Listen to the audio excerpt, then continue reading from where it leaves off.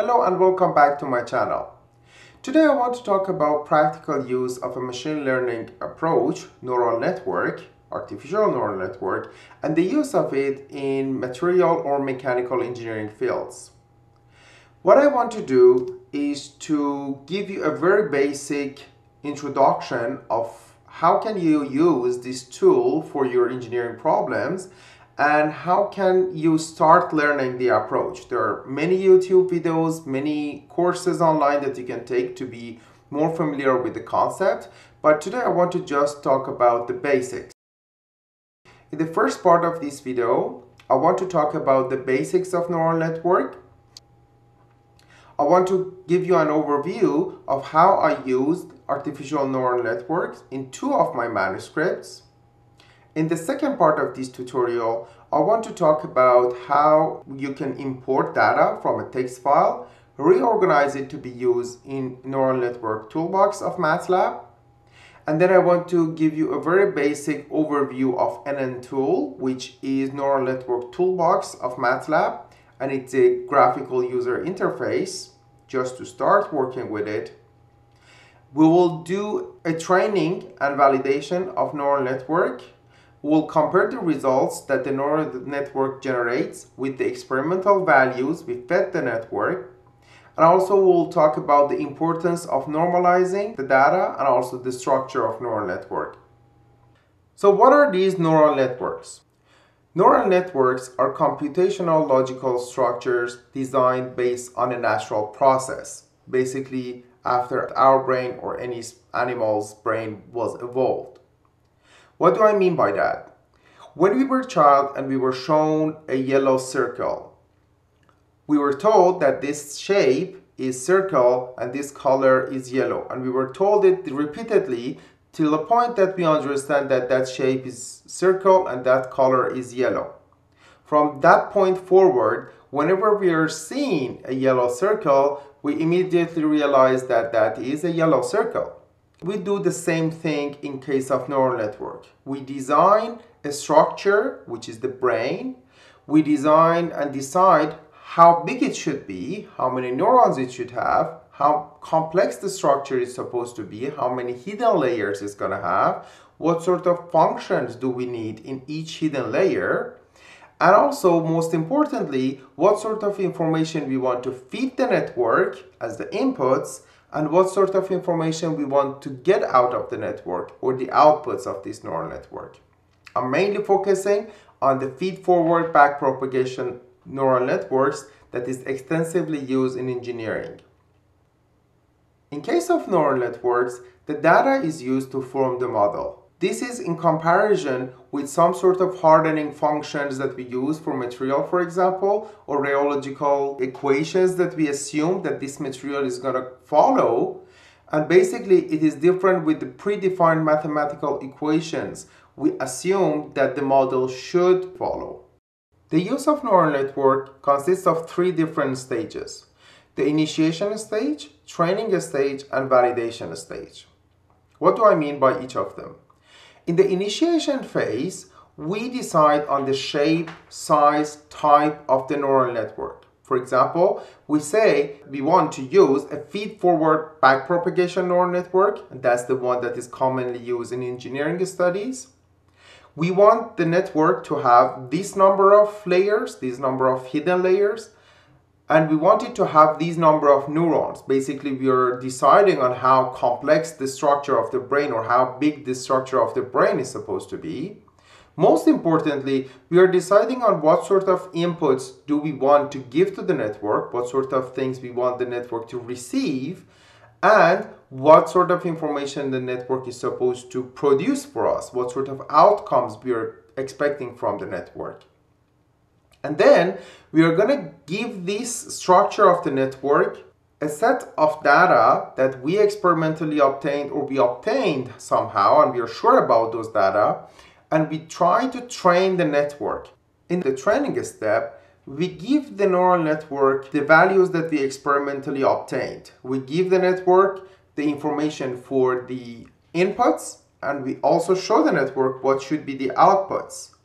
And during the process of the training, weights and biases inside the layers are going to be calculated to minimize the errors of this network. And in the validation stage, we are going to validate the network to see if it can predict the values from the information that it has not been shown before. So we show or we give the network some values that it has not been seen before and we try to see what is the outcome of the network and if the outcome of the network are close to the uh, actual outcome or experimental outcome, that network is validated. As you have already known, this concept is extensively used in different industries, like for example, the face recognition in your cell phone, speech recognition, or sleep analysis, and in case of our tutorial, most importantly in engineering fields.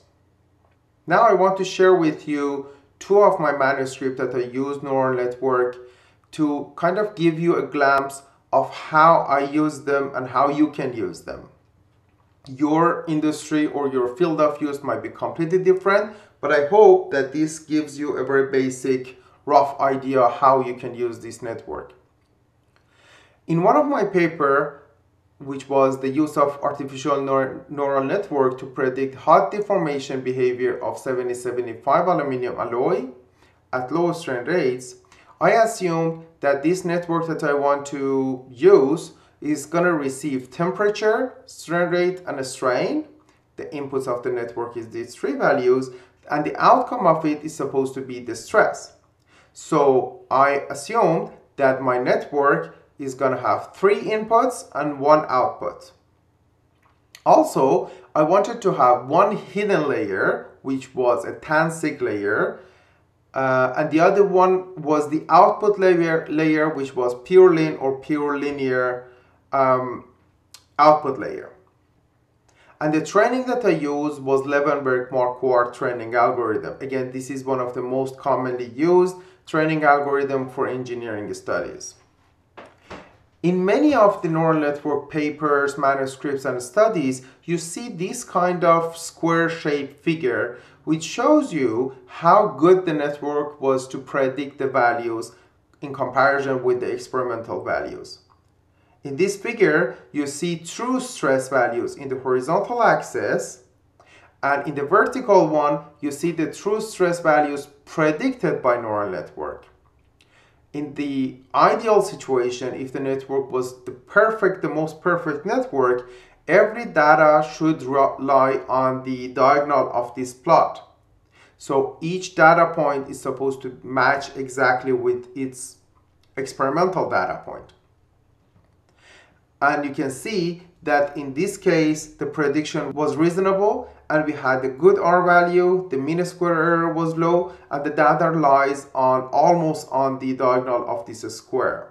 Another thing that I want to share with you is that in order to obtain these good results, I had to use temperature, strain rates, and strain in somewhat physically meaningful relationship with each other. For example, in case of temperature, I used 1 divided by the temperature and I used the Kelvin unit for my temperature.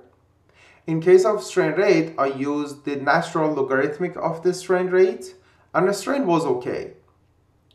Also, I had to use normalized stress as my stress values in the second part of this tutorial, I'll show you why that is important and how normalizing and giving some sort of physical meaningful thing will help the network to predict better, especially if you don't have a very complex structure for your network. In the second paper that I published somehow based on neural network, we tried to use neural network to predict rate-dependent tensile flow behavior of 5182 aluminum alloys. I used two different structure for neural network. One of them had two layers, the other one had three layers. And I had the inputs as the direction, logarithmic of the strain rate and the strain. And the output was the stress or logarithmic of the stress. I had different number of neurons in each network and I trained them to different numbers and also I used different training algorithms.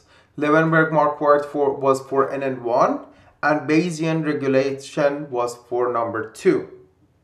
And you can see in this plot that the experimental true stress was very close to the predicted one or vice versa. Especially in case of NN2, the prediction was significantly more accurate than NN1.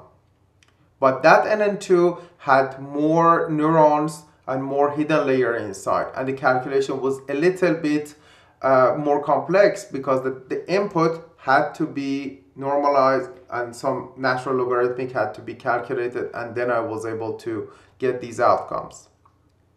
What I did next was to use this NN1 and NN2 as the hardening properties for my Abaqus simulation.